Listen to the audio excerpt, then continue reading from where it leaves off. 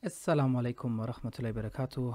Hallo an alle. Schön, dass ihr wieder eingeschaltet habt oder dass ihr zugestoßen seid. Ähm, ich möchte heute ein kurzes Statement ähm, ja, zum letzten äh, Livestream, bei dem ich teilgenommen habe bei Iman TV, äh, kurz ähm, ja, etwas dazu sagen, beziehungsweise zu den äh, Hintergründen, die dann noch danach gelaufen sind, ähm, zu den zwei Personen, die hier äh, im Bild zu sehen sind. Ähm, der eine links äh, Klaus, der den Ach so-Kanal betreibt und der Udo Stamm, ich weiß gar nicht, ob der auch einen äh, Kanal betreibt, ist mir jetzt auch nicht so wichtig.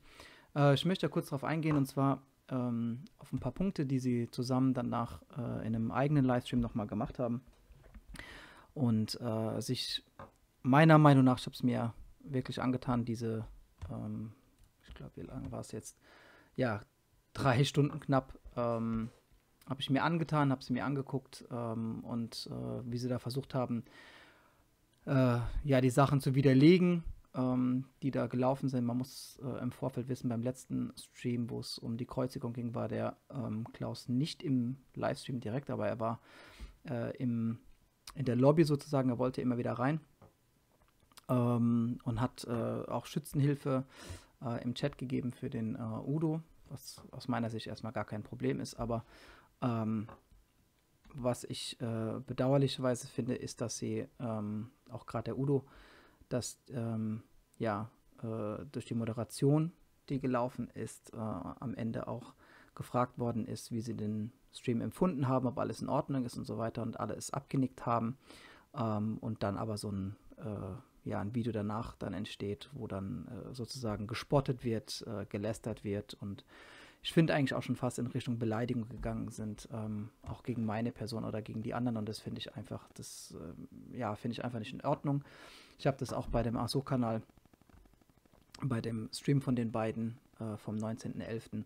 Ähm, auch kommentiert. Ich habe gesagt, ich finde es sehr bestürzend. Ähm, mein Kommentar kann man da lesen, der wurde noch nicht entfernt. Ähm, es wird äh, darauf eingegangen, dass ich äh, den äh, ja, den Garten falsch benannt habe, äh, wurde sich darüber lustig gemacht ähm, und damit sozusagen mir aberkannt, dass ich äh, Wissen hätte. Ich meine, letztendlich kann ich darüber hinwegsehen, aber ich finde einfach die Art und Weise einfach schade und ich finde es äh, ja einfach bestürzend, dass man äh, das so handhaben muss. Wieso kann man nicht, wenn man gleich gefragt wird, äh, sagen, hey, das und das fand ich nicht in Ordnung oder ich hätte mir dessen das gewünscht, einfach ein offenes, korrektives Feedback geben ähm, an, anstatt dann äh, alles abzunicken, ja, ja, es war alles okay, hm, schön, danke, und dann äh, einen Tag später oder wer es auch immer, ein paar Tage später dann einen eigenen Livestream starten äh, und sozusagen sich äh, dann privat austauschen und dann äh, das öffentlich hochjagen und äh, ja, einfach dann so abzulästern in so einem dreistündigen Video. Das finde ich einfach, ich weiß nicht, macht man das so heutzutage? Ihr könnt gerne kommentieren. Ähm, aber ich sehe es äh, ein bisschen als Heuchelei. Ich finde es äh, charakterlich sehr schwach. Ich habe das auch gesagt. Ich habe auch gesagt, ich hätte mehr von euch erwartet, gerade weil ihr euch äh, Christen äh, nennt äh, und das dann für mich ähm, ja einhergeht mit, äh, ich glaube an etwas und ich habe da auch Regeln und Anstandsregeln und so weiter und auch ein, eine Vorgabe, wie ich miteinander mit, den, mit meinen Mitmenschen umzugehen habe. und das ähm, lebt ihr für mich einfach nicht. Also ich habe gesagt, ich habe echt mehr von euch erwartet, auch charakterlich mehr, äh, moralisch mehr. Äh, und ähm, ja, es kommt einfach nichts. Also ich finde das sehr, sehr schade. Ich finde es eigentlich, ähm, also ich, ich freue mich eigentlich, äh, sage ich mal, christliche, ähm, ich sage jetzt mal, Brüder zu haben, ähm, die das wirklich leben. Und ähm, ich kenne eigentlich auch sehr gute Beispiele ja, von christlichen Menschen, die sehr achtsam sind, sehr respektvoll und so weiter, wo ich sage, hey, ist doch super. Ja, es muss ja nicht gleich, dass wenn ich äh, Moslem bin und du bist Christ, muss ja nicht gleich äh, ein kalter Krieg sozusagen entstehen, ja, sondern äh, man kann doch trotzdem nebeneinander ähm, leben, so wie Lessing es äh, beschrieben hat, ja, mit der Ringparabel.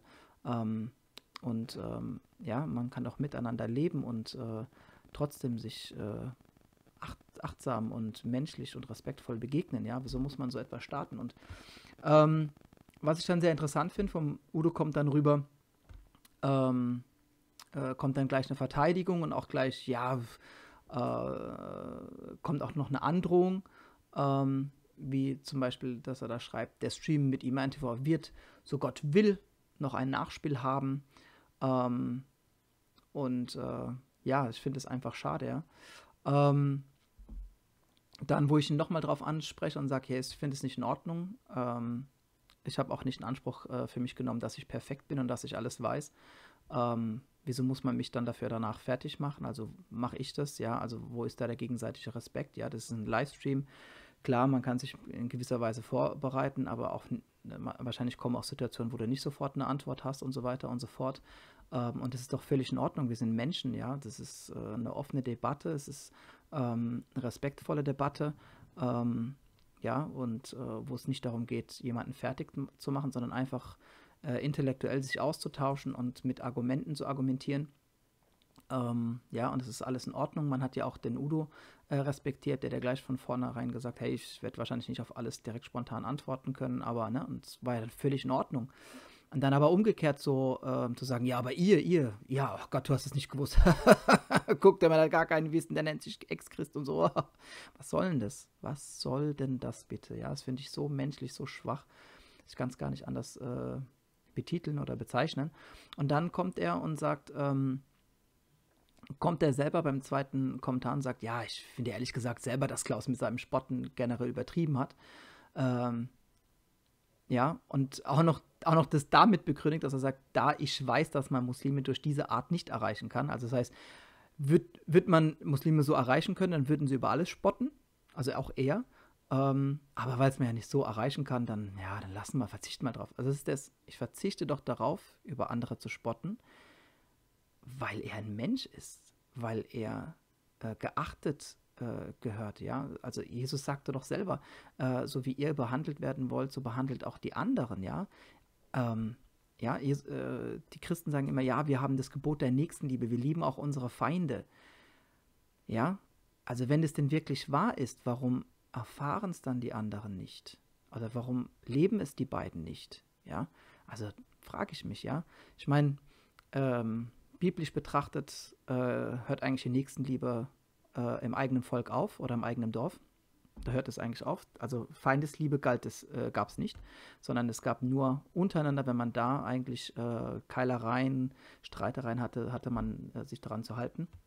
Aber gegenüber Feinde, kann man in der Bibel nachlesen, im Alten Testament vor allem, ähm, hatte das nichts damit zu tun, ja. Ähm, auch wenn Jesus ja kommt, da wird ja auch keine Nächstenliebe mehr gepredigt, sondern da Gute Nacht, ja, für jeden. Ähm, und dann kommt auch noch der Ach so Kanal selber, der da mitschreibt. Ich lese es euch mal kurz vor, ihr könnt es selber nachlesen. Falsche Aussprache ist kein Problem, Unwissenheit auch nicht, außer man stellt sich als den Wissenden dar, was du getan hast. Wo habe ich gesagt, ich bin wissend? Wo habe ich gesagt, ich weiß mehr als alle anderen? Ich rede für mich von dem Wissen, was ich habe. Also gerne korrigiert mich, wenn ihr wenn ihr da es jetzt wisst. Ich weiß es nicht, dass ich äh, mich als Schirch oder irgendwas dargestellt habe, überhaupt nicht. An einfache Muslime stelle ich einen anderen Maßstab als an einen Schirch oder an, als an Schirchs. Wo? Wo hat Iman TV gesagt, dass sie Schirchs sind? Ich wüsste es nicht, also zumindest nicht in den Streams, wo ich dabei bin. Ähm, aber auch ich habe es ja nicht gemacht, überhaupt nicht. Ich habe nur gesagt, das, was ich gelesen habe, ich habe sogar die Bibel ja in, in, in die Kamera gehalten. Wenn jemand, der von der Bibel wenig Ahnung hat und dann Dinge durcheinander äh, kriegt, sehe ich da kein Ding drin, sagt er. Aber du hast dir viel Mühe gegeben, dich als Christ mit viel Kenntnissen und starkem Hintergrund darzustellen. Würde ich jetzt auch nicht so hundertprozentig unterschreiben. Ja, ich habe gesagt, ich bin Ex-Christ, ich habe viel gelesen, aber was ist viel? Also beziffer mir das bitte.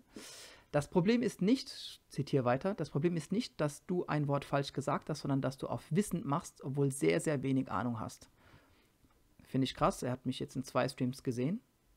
Mit einem hat er nur mit mir de de debattiert. Das war in dem äh, ersten, wo ich dabei war. Und da zu sagen oder beurteilen zu können, dass jemand Ahnung hat, starkes Ding. Der sollte ähm, Arzt werden. Mit seinen Fer Ferndiagnosen, da könnte er wahrscheinlich viel erreichen.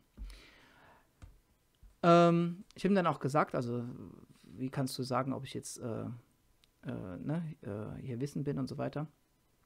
Und wie dein Glaube war, kann ich nachträglich nicht beurteilen, klar. Aber ich sehe, dass du einfachste Dinge nicht hinkriegst und auch Bibelstellen verdrehst, die man nicht falsch verstehen kann, wenn man den Vers einfach bis zu Ende liest. Zum Beispiel, aber nicht mein Wille so gesch äh, soll geschehen, sondern der deine. Du bist entweder unglaublich naiv und von Betrügern geimpft oder selbst ein Betrüger. Eine dritte Möglichkeit erkenne ich derzeit nicht. Ich habe ihm da auch nochmal drauf geantwortet. Er hat nicht, mir, äh, mir gar nicht mehr geantwortet, was ich auch sehr traurig finde. Also ein Dialog ist mit ihm auch nicht möglich.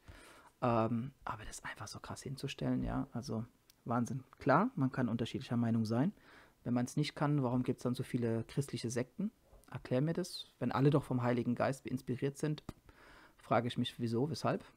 Wieso klappt es nicht? Ist der Heilige Geist der irgendwie ein bisschen selber verdattert äh, oder verdreht im Kopf? Ich weiß nicht, ohne es jetzt blasphemisch zu meinen.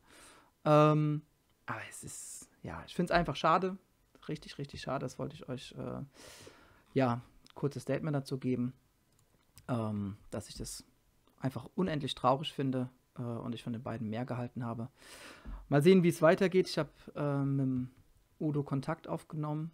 Äh, er wollte noch mit mir einen Livestream machen, beziehungsweise ein privates. Ähm, ich hoffe, dass das besser ausgeht, dass man sich da menschlich äh, begegnen kann und einfach ähm, sachlich sich unterhalten kann. Ähm, ja.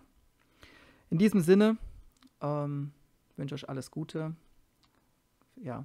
Assalamu alaikum wa rahmatullahi wa barakatuh. Tschüss an alle.